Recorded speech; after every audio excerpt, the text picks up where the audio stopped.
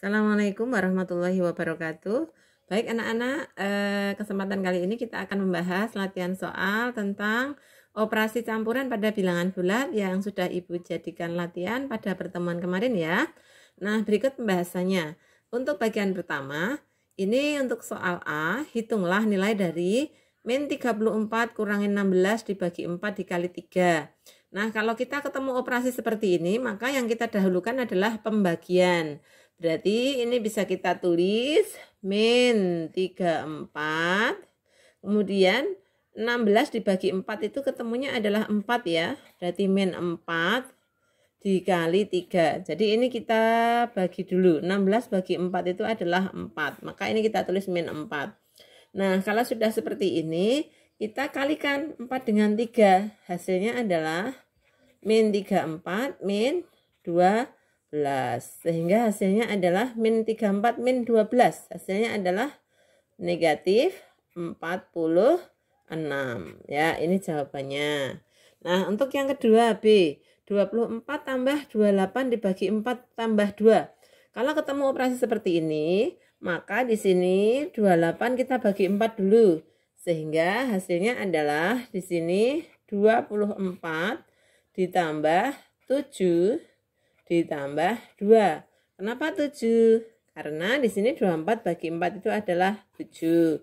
Sehingga 24 tambah 7 tambah 2. Hasilnya adalah 30 33 gitu ya hasilnya sederhana kemudian nomor selanjutnya yang bagian C 35 tambah 5 kali 12 dibagi min 3 di sini ada operasi kali, ada bagi muncul bersama. Yang kita dahulukan yang sebelah kiri. Maka 5 kali 12 dulu berapa hasilnya? 5 kali 12 adalah 60. Nah, berarti kita nanti 60 kemudian dibagi min 3. 60 bagi min 3 itu ketemunya min 20. Sehingga hasilnya adalah min 35 min 35 ditambah 60 kurangi uh, 60 dibagi min 3 ya. Nah, 60 bagi min 3 itu adalah min 20 sehingga negatif 35 ditambah min 20 hasilnya adalah negatif 55 ya ini hasilnya Nah, kemudian untuk soal yang bagian kedua. Di sini ada operasi perkalian 5 kali 2 positif kali positif berarti hasilnya positif. Min 3 kali 4 negatif kali positif hasilnya negatif yaitu negatif 12.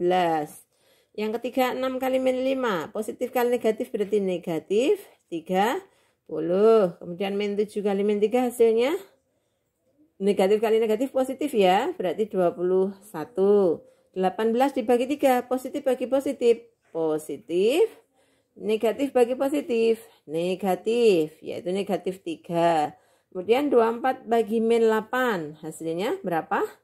Positif bagi negatif adalah negatif, negatif 3. Negatif bagi negatif, hasilnya positif. Nah, ini ya.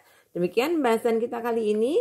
Uh, nanti kalau ada yang ditanyakan bisa di kolom komentar ya. Terima kasih. Assalamualaikum warahmatullahi wabarakatuh.